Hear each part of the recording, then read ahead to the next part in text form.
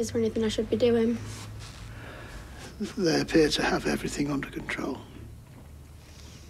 I knew it was going to happen sometime. I mean, I knew he wasn't going to make some amazing recovery, but still.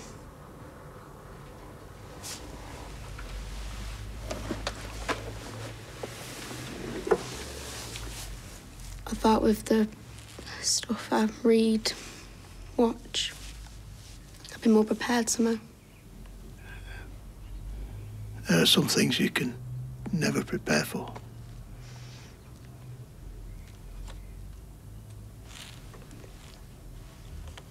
Take the 70 grand and run. Michelle, it's a no-brainer. Robert's hearing us tomorrow. We won't get a better chance. I know that. So what's the problem? Well, Look, I got into this to punish Robert. I made my peace with that. Fine. But, you know, what if this backfires on the staff? What if this mystery buyer comes in and decides to sack them all or, or treats them like dirt? yeah, well, that's out of your hands. It, it's not that simple, though, Vicky. No offence, but it's a wee bit late to be rubbing gravel in your hair. What, you can't be naive to think that you would come out of this lily white smelling of roses. No matter what way you slice it, this is revenge, and revenge is always ugly. Now, I have no problem with a guilty conscience if it means a fresh start, but see if you don't have the belly for this, No, Michelle. I- I'll make the deal. Okay. And you can reach me on either of these numbers at daytime and evening. Thank you. Somebody will be in contact tomorrow. And once again, I'm deeply sorry for your loss. Thank you. I'm deeply sorry for your loss. Seriously, they must get so bored of saying that.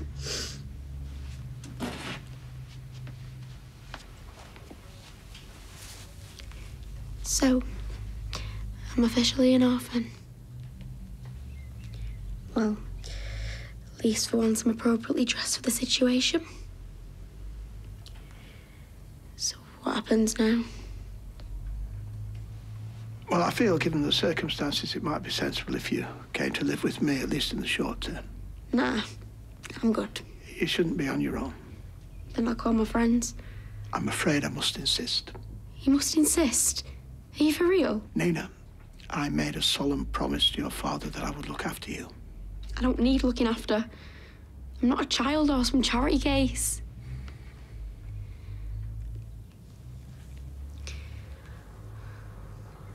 Fine. Go wait in the car while I grab some stuff. I'm happy to wait. Roy, do I have to draw you a picture? I need a moment to myself, please. Yes, yes, of course I. I understand.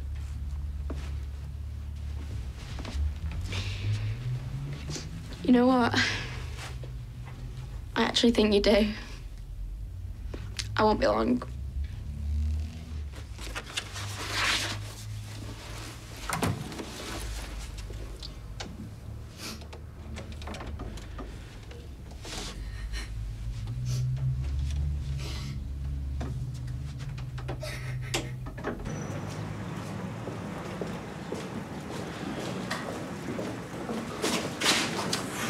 You Ryan? I am. Yeah, and you are? Mr. None of your business. I believe you got a little prezi for me.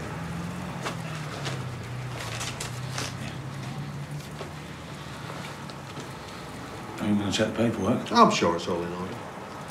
So, been in this line of work long? None of your business. Fair play. Any other questions? Yeah, yeah, just the one. Strictly between us, like. What's your governor's attitude towards the occasional late payment? You'd have to discuss that with Gary. in oh, person. Oh, come on. Just asking for a bit of a steer. See, the word is, he's a bit of a vicious so-and-so. Look, mate, if you're having second thoughts, just give me back the envelope. Come. Right. Then the rest is on you.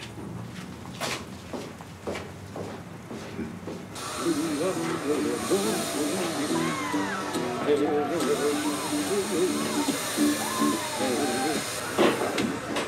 where credit's due. As Winter Wonderlands go, this ain't too shabby. Ah, come on, it's a masterpiece. That's what it is. Yeah, as long as it makes a profit. Of course it will. I reckon you're in with the shout.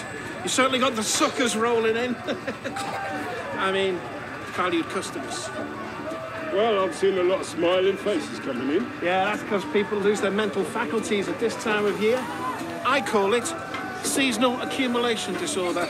Oh, well, I like to think it brings out the good in people. Well, more importantly, it brings out the wallets. and that, my friends, is a true miracle of Christmas.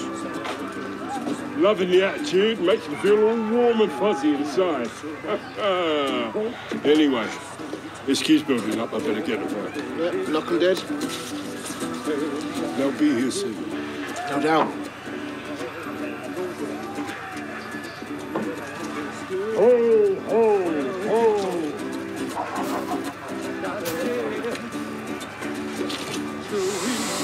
Ho, ho, ho! So as soon as the sign on the bottom line, Yeah, I'll let you know. we are doing the right thing. Mm. Come on. Now who's being naive? There's nothing right about any of this. Still, if they send Robert down, I suppose it'll all be over, won't it? Oh! Are you okay? Yeah, yeah. Yeah, I'm grand. Well, you don't look very grand. In fact, you look like you're ready to drop. No, it's uh, it's just Braxton Hicks. It's fine. Vicky, Look, you just worry about getting us paid, okay? Go make that deal. I really think I should take you to hospital. I said go. This isn't my first rodeo, in case you haven't noticed. All right. But listen, if you start getting contractions, You will be the first to know. Go on, singer. See ya.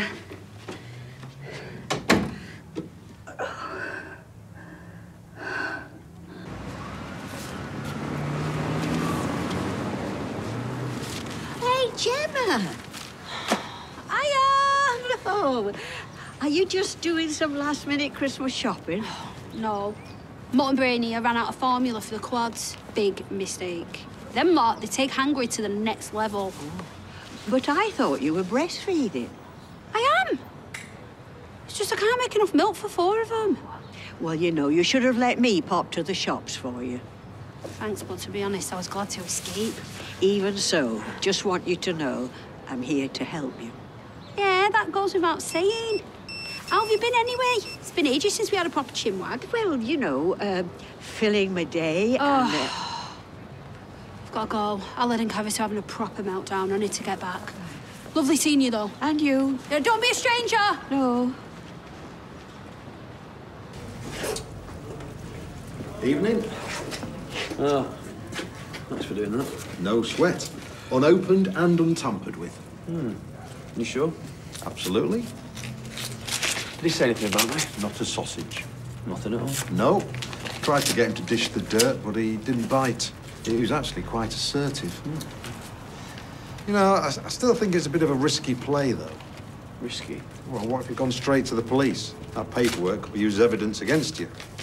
What, you mean this paperwork? If I was wearing a hat, I'd tip it to you.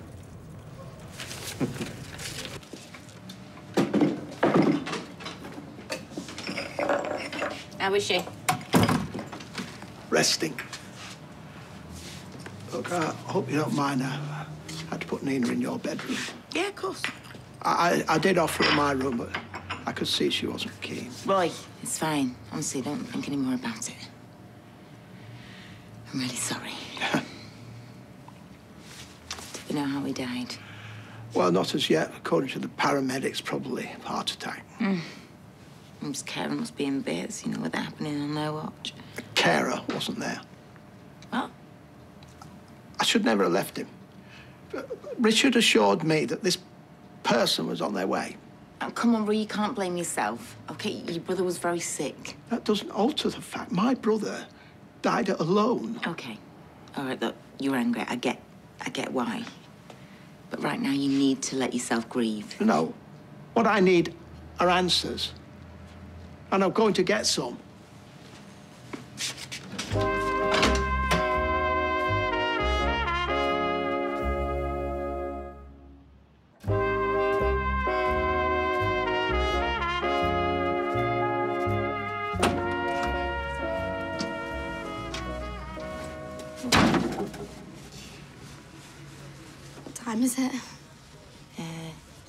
After five. Oh, really slept. Nina, I'm. I'm really sorry about your dad. Makes two of us. Either way, I kind of hijacked your room. Yeah. I'll let you off. Seriously, you've got the nicest pillow. Might want that back. Is Roy around? Oh no, he's just he's nipped out. Where to? Well, uh, uh, maybe you should speak to him yourself. You know when he gets back. Or maybe you could just tell me now. Okay, he's gone to speak to somebody from the company who provided your dad with care. Speak about what? About what happened to your dad today. He died. It's no one's fault. I know, but, but I don't think Roy quite sees it like that. Uh, as far as he's concerned, they're still negligent. I'm not with you. Negligent how? Well, for not showing up today. I mean, Roy only left because your dad said the carer was on the way. I can go on. Are you saying my dad was alone?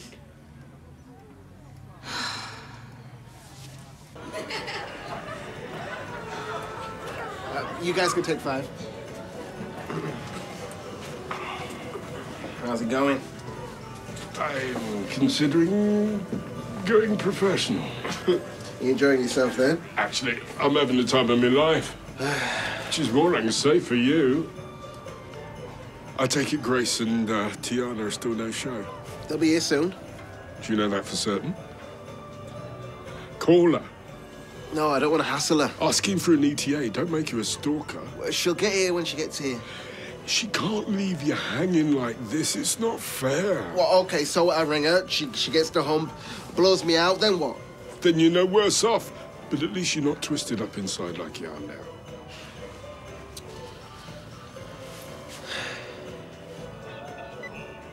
Try and sound relaxed. Easy for you to say. There you are. Starting to think you've done a runner on me. I, uh, I delivered the envelope like you asked. To give you any hassle. Nope. Walk in the park. Good. I'm really sure about it myself. Did you ask about me? Yeah, he asked, but, you know. Anyway, uh, listen. This is, um, this is half of what I owe you. Half. It's all I could scrounge Oh, yeah, I I, I believe you. I just can't accept it. Gary, please, come on, mate. Come on, it's the best I could do. Gary. All right. Right. Do us a favour, leave the face alone, yeah? Mum's got enough stress at the moment. Hey, will you calm yourself down? I'm not going to touch your face. I mean, what do you think I am? I, um, I don't understand. Okay, so I've decided to give you a payment holiday. Yeah. Basically, you're off the hook until the new year. It's just a joke. Hey, now come on, you know I don't joke about money. Let's just call it a early Christmas present. Okay. Hey, and who knows? Maybe I'll have a few more jobs for you. Really soon.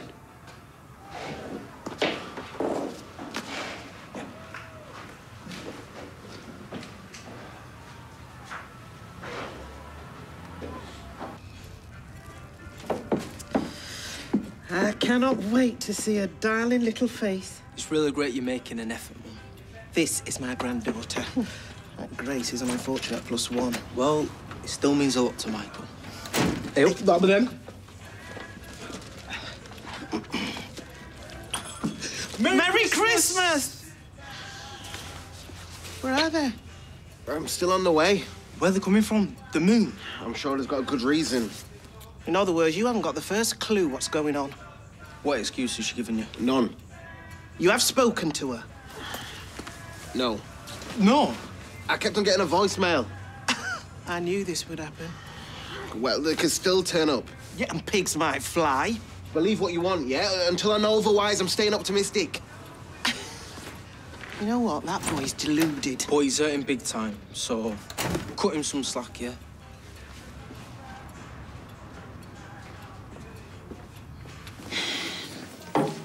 Thanks for seeing me at such short notice. I'm just trying to clear the decks before Christmas. So, I'm assuming you made a decision.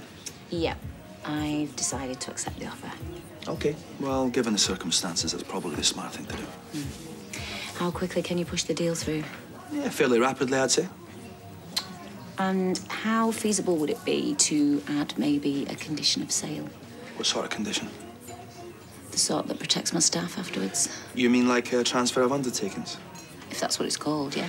Michelle, your staff have rights, but I can't add a treat them like family stipulation to the contract. I know that, I know.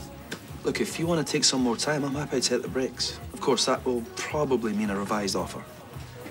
And by revised, you mean lower, right? Almost certainly. Oh, just forget it. Ignore me. If they're willing to do this quickly, then I'm willing to sell. I guess I'll just have to hope for the best moving forward, won't I? That's all you can ever do. I'll contact Lucy first then. Cheers. Cheers.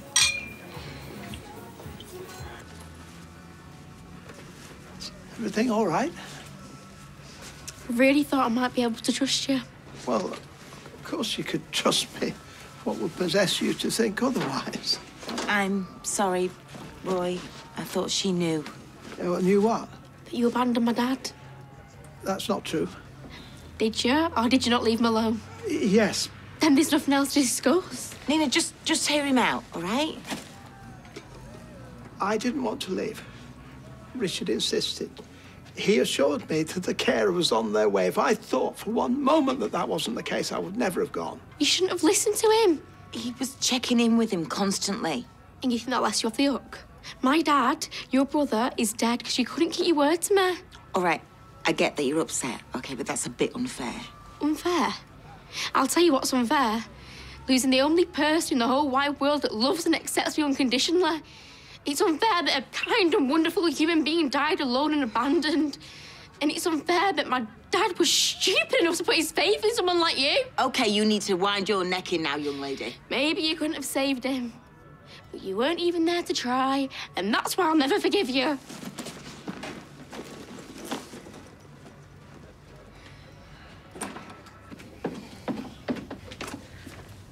Dad and me are off to the pub. You fancy coming?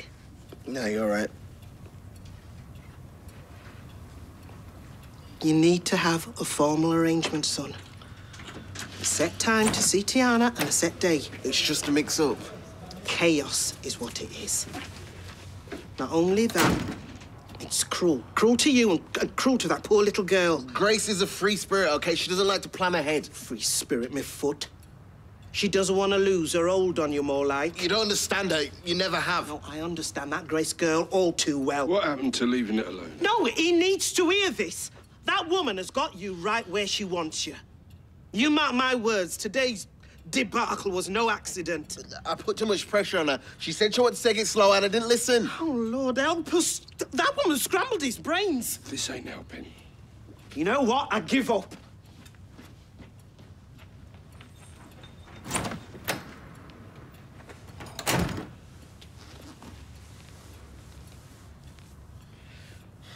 She might be right. No, you stop. I just wanted to make my little girl smile.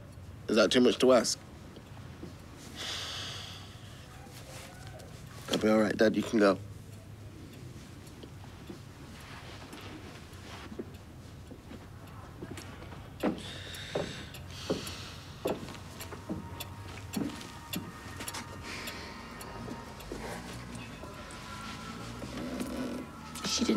She said, you know. It's just grief talking. You did your very best for Richard. Mm. Like I did my best for Hayley. Oh, come on, you you can't compare the two. It was completely different. No, there is one similarity. I remain with the living, they don't. Having failed my brother in life, I'm now failing him in death. Oh, okay, all due respect, and speaking as someone who's turned self-torture into an art form, You're talking nonsense. You could not fail someone if you tried. I promised to take care of Nina. Yeah, and you've not broken that promise. She was in my care barely half a day, and already I've driven her away. Okay. So you've not got off to the best of starts. The question is, what are you going to do about it?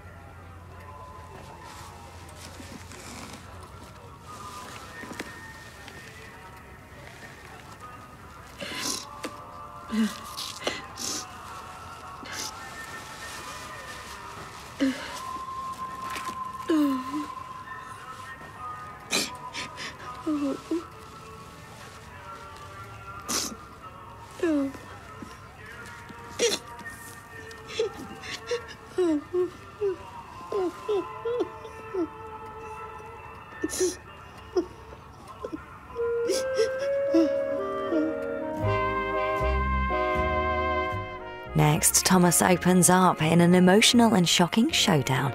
It's the finale of our new drama, Sticks and Stones. And miss the tips on the best festive food and drink? Catch up with How to Spend It Well at Christmas with Philip Schofield on ITV Hub.